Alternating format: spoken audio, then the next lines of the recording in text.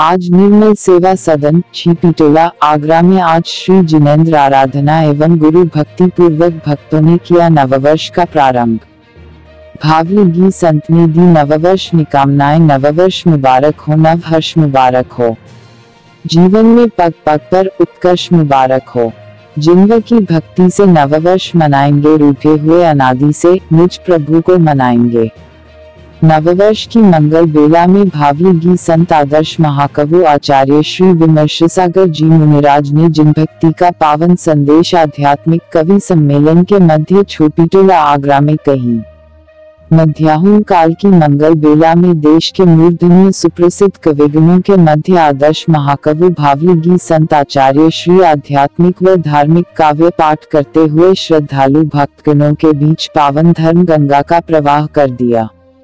इस मौके पर विश्वजीत जैन, प्रवीण जैन, नेताजी दीपक जैन, सत्येंद्र जैन, दयाचंद जैन, ऋषभ जैन, मुकेश जैन, मीडिया प्रभारी राहुल जैन और सकल जैन समाज के लोग मौजूद रहे।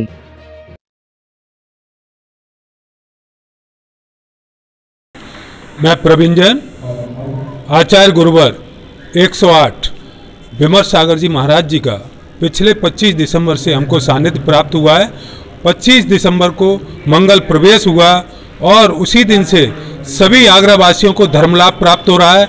आज एक तारीख की शाम को गुरुवर के सानिध्य में एक आध्यात्मिक कवि सम्मेलन हो रहा है, जिसमें पूरा आगरा शहर उमड़ पड़ा है एवं सभी उसका पूरा लाभ ले रहे हैं, लाभ प्राप्त कर रहे हैं। ऐसे गुरुवर के चरणों में बारंबार नमस्कार नमस्कार नमस्कार। और गुरुवर की वाणी से विश्व पताका जो फहराई जा रही है विश्व धर्म की जय बोली जा रही है और भगवान महावीर स्वामी जी का संदेश जियो और जीने दो को चरितार्थ करते हुए गुरुवर आज यहाँ अपने मुखार बिंद से काव्य धारा बहा रहे हैं। उससे सभी आगरा वासियों को ही नहीं इस चैनल के माध्यम से पूरे उत्तर प्रदेश को लाभ प्राप्त हो रहा है। सादर जय दिनैन जय दिनैन जिनागम पंथ जय जयवंत। हो जय जय विमर्श मैं विश्वजीत जैन छिपिटोला निवासी।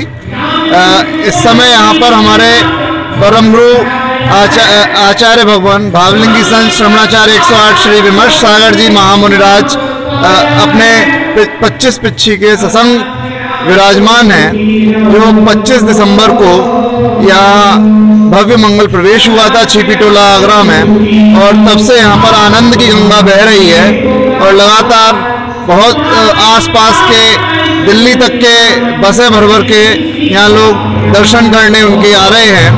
आज यहाँ पर आध्यात्मिक कवि सम्मेलन का कार्यक्रम आयोजित किया गया है, जिसके अंतर्गत परम परम पूज्य गुरुवर, जो कि स्वयं आदर्श महाकवि भी हैं, वे अपनी रचना, अपनी आध्यात्मिक रचनाओं से सब सब भक्तजनों को आनंद विभोर कर रहे हैं और जो बाहर से जो जय आध्यात्मिक कवि आए हैं, उनके उनके भी रचनाओं का आस्वादन करने का लाभ सभी भक्तजनों को मिल रहा है और जो आनंद की गंगा बह रही है, उसका लाभ सभी ले पा रहे हैं।